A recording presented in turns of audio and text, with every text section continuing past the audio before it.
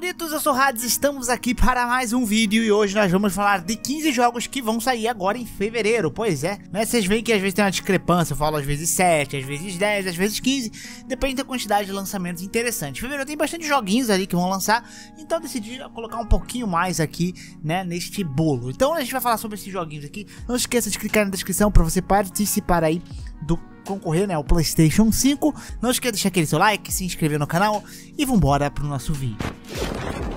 Bem, vamos começar com o primeiro título de fevereiro, que é o Grand Blue Fantasy Relink. Esse jogo, ele é um JRPG, né, do universo de Grand Blue Fantasy, e eu joguei a demo desse jogo, até trouxe uma preview aqui no canal, e o jogo é bem interessante, assim. Eu achei bem legal a gameplay, né, o combate e a variação de personagens. São personagens bem variados e cada um possui habilidades, conjuntos bem únicos. Isso foi o que mais me chamou a atenção no Grand Blue Fantasy, né? E é algo que eu acredito que na campanha de single player dele, a gente também tenha bastante troca desses personagens, que não vai deixar a gameplay ficar enjoativa do meu ponto de vista, né? Então é um jogo que eu achei bem interessante. Estou muito curioso para jogar e para ver como é que vai ser o resultado desse jogo. É um dos títulos aí que mais me chamou a atenção, inclusive, neste mês de fevereiro. Já estamos começando com ele aqui, porque a vida é assim mesmo, né? E quando nós temos o mais interessante, a gente desce um pouquinho para um menos interessante, né? Que é o jogo Esquadrão Suicida, que sai esse mês também, né? E esse aqui é um jogo que eu tô muito curioso para ver o resultado dele. É um jogo do próprio Esquadrão, né? Onde tem a Arlequina, o Capitão Boomerang, né? o Deadshot, Deadshot, acho que é isso, e o Tubarão. E a gente joga com esses personagens é, voando, sobrevoando ali a cidade, dando piu-piu-piu em inimigos, pulando. É um jogo que você vai pular muito, né? Você olha pra esse jogo, você olha, olha como que vontade de pular. Você vai ficar pulando, uh, na alegria de viver ali. Eles até confirmaram recentemente o Coringa como personagem jogável, né? O que foi, acho que, uma estratégia de marketing pra chamar um pouquinho de atenção pro jogo, já que a galera não tá tão interessada a princípio, né? Mas esse daí é um título que vai sair, é um dos jogos de fevereiro. O próximo jogo que nós temos aqui é o Persona 3 Reload, né? O remake de Persona e os fãs de RPG estão bem animados, de JRPG estão bem animados, afinal de contas, Persona 3 é um baita de um jogo, né? Esse jogo tá refeito com gráficos bem bonitos e é um jogo reimaginado, como eles disseram aqui, né? Mas mantendo ali personagens e tal, parece estar tá bem interessante, né? E é um título que eu quero dar uma verificada. Também ele tá no comecinho aí de fevereiro também saindo, né? Em sequências a gente tem aqui o Phone Stars, né? Esse jogo aqui é um jogo ali da Square que lembra muito ali o Splatoon, né, da Nintendo, embora muitos falem que ele é diferente. É um jogo que eu tô curioso para testar, né? Eu já comentei dele aqui em outros vídeos. É um jogo que eu achei ele bonito assim visualmente, é um visual legal, para mim não é um jogo que vai vingar, né? Entretanto, ele vai chegar no serviço da Plus, eu ainda não sei se ele vai ser pago ou não, mas quem tem o um PlayStation vai poder jogar ele pela Plus, né, e testar o jogo. O que tudo indica vai ser pago, né, para ele estar tá na Plus, eu acho que porque fora da Plus ele é pago, né? O que custa ver o valor disso aqui, né? Se for full price, esquece esse jogo aqui, vai ser o próximo Exoprimal, entretanto agora da Square, né? Foi a vez do Exoprimal ali da Capcom e agora o Exoprimal da Square. Mas é um jogo que graficamente é minimamente interessante. Skull Bones, né? Um jogo que a gente já comentou também aqui no canal. Um jogo que eu tenho ali expectativas muito medianas para esse jogo. Porque é um jogo que me parece extremamente enjoativo. Um jogo focado em batalha naval, né? Onde muitos esperavam um tipo de jogo, ele foi entregue outro. Fo meio estilo ali, né? Diablo de batalha naval. Que é você coletar recursos, montar barco, criar build de barco e lutar com os inimigos. Esse aqui é o foco do Squid Bones, um jogo que eu acho que a maioria também não está ligando tanto, mas ele sim, né? Depois de muito tempo no forno ali, esquecido, né? Reboots, refeito e tal. Squid Bones está saindo. Pena que não é tudo que aquilo que a gente queria, né? E falando em JRPGs, a gente tem, né, o Final Fantasy VII, a segunda parte aí, o Rebirth, né, a reimaginação de Final Fantasy VII, né, a segunda parte da história, onde nós vamos visitar partes ali, né, a próxima parte agora do Final Fantasy VII, reimaginada, totalmente reimaginada, né, pra quem jogou primeiro sabe como a história se alterou em diversos pontos, né, e agora a gente vai ver a conclusão disso, né, o próximo passo disso, na verdade, né, e é um título aí que eu acho que muitos estão animados. Esse aqui eu acho que é um dos títulos mais esperados do ano até agora, né?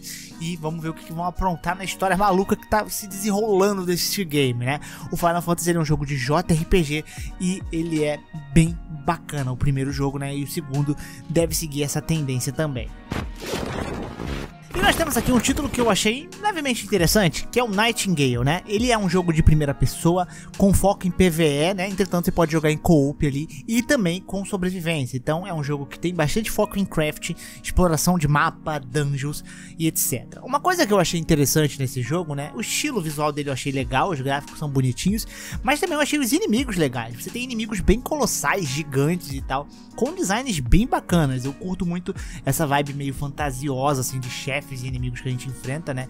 Que é extremamente maior que o jogador. E o Nightingale parece entregar isso, né? Vamos torcer pra ser um bom jogo, porque desde quando ele foi anunciado, eu achei ele minimamente bacaninha ali, pelo menos assim. É, meus olhos se voltaram um pouco para ele. Eu olhei e falei, cara, pode ser um jogo legal, né? Ele mistura também um pouquinho com coleção de cartas também, né? Para você remodelar a paisagem do jogo e remodelar algumas coisas do destino. Esse é um diferencial do game, tá? E esse daí é o Nightingale. Ultros, nós temos o Metroidvania de fevereiro, né? Esse jogo aqui, cara, ele é bem legal, bem interessante, né? Ele é um Metroidvania com visuais bem ali únicos, coloridão, meio psicodélico, né? O personagem vai tipo para um outro planeta e tal, e você meio que tem que se alimentar das criaturas ali. Só que tipo, essas criaturas dependendo, né, podem dar efeitos e coisas que acontecem conforme você se alimenta. Eu achei bem interessante a proposta do jogo, ele parece estar tá divertido, né? E assim, visualmente, artisticamente, tá impecável, muito bonito e eu espero que seja uma boa surpresa, né? Que esses projetinhos pequenos aí deem certo também. Depois de 20 anos, nós temos o remake do Mario vs Donkey Kong. Um novo título ali do Mario, né? Agora pro Nintendo Switch. Novo não, porque é um remake.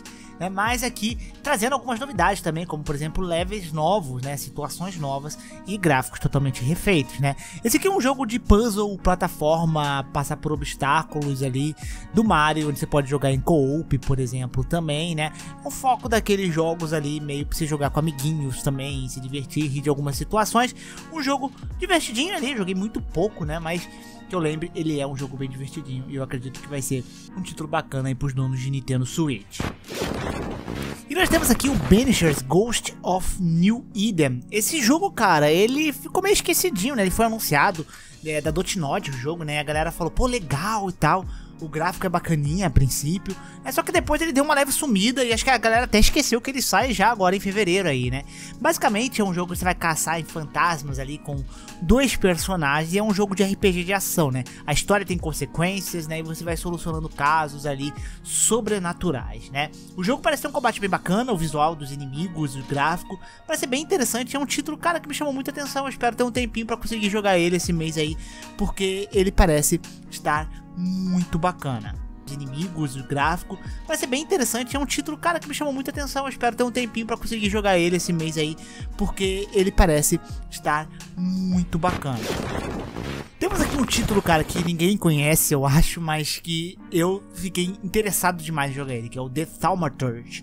O The Thaumaturge, eu descobri ele num vídeo que eu ia trazer de jogos de lançamento, só que ele foi adiado, então se não me falha a memória eu não trouxe naquele vídeo, né?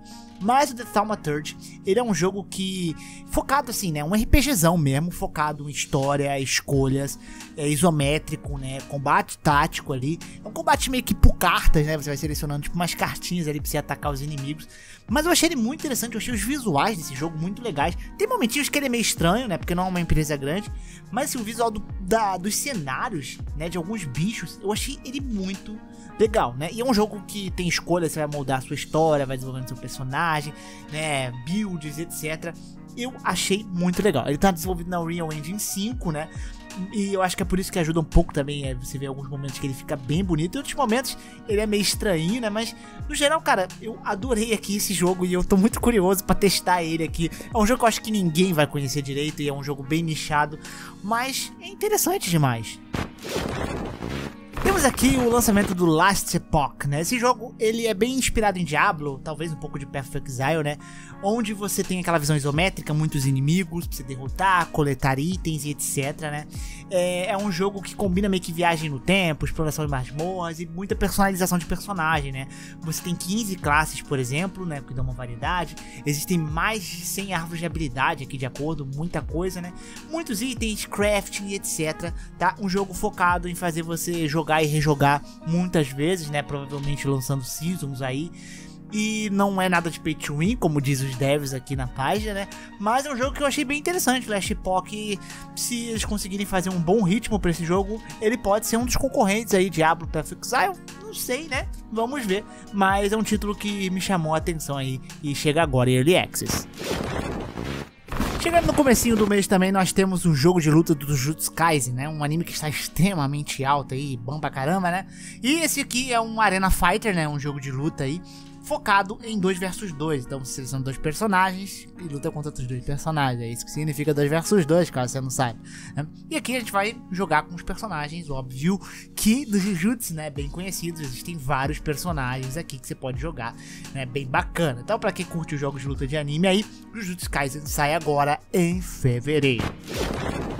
E a gente tem mais um remake, que é o remake do Brothers, A Tales of Two Sons. Esse jogo era bem legal, cara. Eu joguei ele e você controlava, cada um controlava no controle, né? Você controlava os dois irmãos ao mesmo tempo. E você é tipo resolvendo puzzles, explorando e tal. Esse é o foco do jogo, basicamente, com cenários bem legais. E aqui os gráficos totalmente refeitos, né? O jogo então tá bem bonitinho aí, né? E é bem legal. Eu tô muito interessado para ver qual que vai ser o resultado, se vai ser um remake bem feito. É um jogo bem bacana aí, né? Eu acredito que não tenha muito o que errar do meu ponto de vista.